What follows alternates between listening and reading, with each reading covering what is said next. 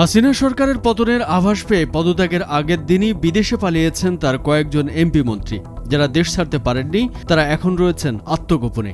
সেই সূত্র ধরেই খোঁজ চলছে চিত্রনায়ক ও আওয়ামী লীগের টিকিটে প্রথমবারের মতো সংসদ সদস্য হওয়া ফেরদৌস আহমেদের। কয়েকদিন ধরেই জনসম্মুখে দেখা যাচ্ছে না ফেরদৌসকে।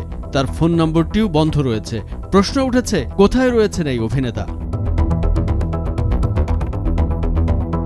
ঢালিউডের অন্যতম অভিনেতা ফেরদৌস আহমেদ অভিনয় থেকে আসেন রাজনীতির ময়দানে। সর্বশেষ জাতীয় সংসদ নির্বাচনে আওয়ামী লীগের হয়ে ঢাকা দশ আসনে সংসদ সদস্য হিসেবে নির্বাচিত হন তিনি। কিন্তু ভাগ্য সহায় হল না তার।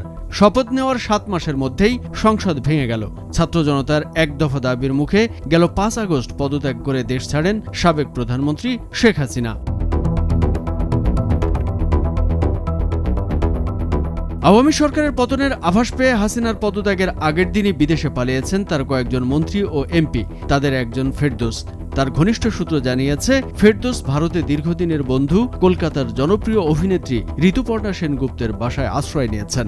হোটেলে থাকাটা নিরাপদ মনে করছেন না ফেরদোস, কারণ কলকাতায় অনেক বাংলাদেশি পর্যটকের উপস্থিতি রয়েছে।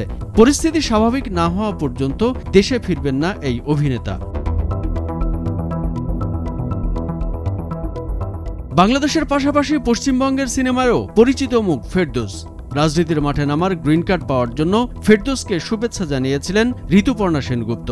ঢাকায় এসে তার বন্ধু ফেরদোসের নির্বাচনী প্রচারণায় অংশ নেয়ার কথাও বলেছিলেন সে সময়। ফেরদোসের জয়ে শুভেচ্ছাও জানিয়েছিলেন এই টলিউড অভিনেত্রী। এবার বন্ধুর বিপদে তার পাশে দাঁড়াবেন বলে খবর পাওয়া গেছে। এই নায়ককে শেষবার জনসমক্ষে দেখা যায় গত এক আগস্ট।